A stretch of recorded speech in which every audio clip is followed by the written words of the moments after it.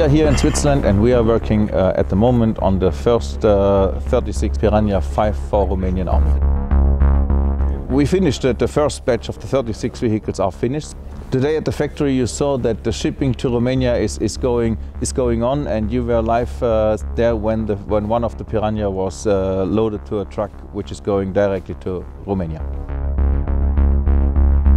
We are in the middle of the acceptance phase and it's, it's going uh, hand in hand with the, with the Romanian customer and uh, we look forward to finalize this within the next uh, two weeks. For the P5 program for Romania, this is planned in three phases and we are in, in the, on the end of the phase one, which we are going to finish uh, early next year.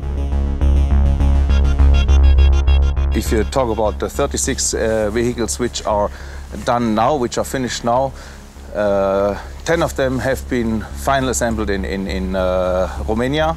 Uh, the rest was done in Switzerland, but uh, going step by step for the next uh, phase of the project, the local assembly will be much brighter than this was done as of today. The, the hull, the welding will be done in, in, in Switzerland and uh, the driveline will be done in Switzerland and then it will be shipped to, to Romania and then the uh, sandblasting, the painting, the final assembly of the whole vehicle will be done in, in UMB factory in Bucharest.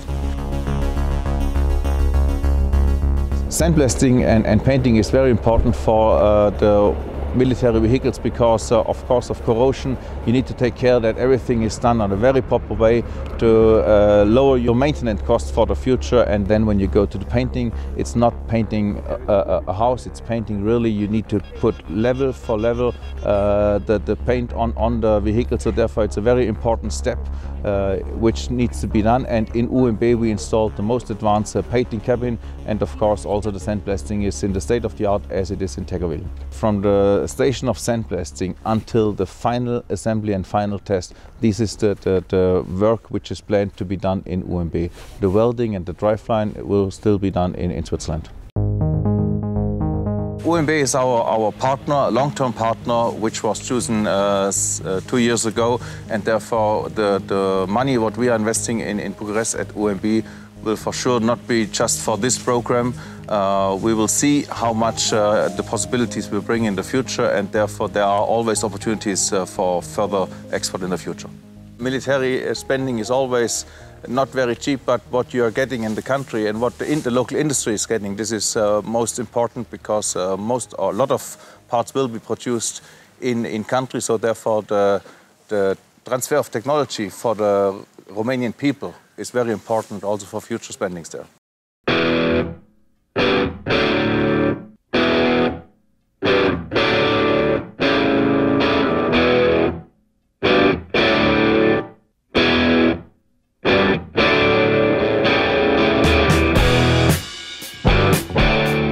Romanian uh, Piranha is the most advanced and modern vehicle in the world. Uh, there is there is no doubt about. Uh, the turret which is installed is uh, also it's a remote controlled uh, turret and also this is uh, very modern and very advanced technology. The, the, advantage of the of the P5 is his mobility. So there is no limit for the mobility of, of this vehicle, so therefore this is the big advantage. And military mobility is the key word.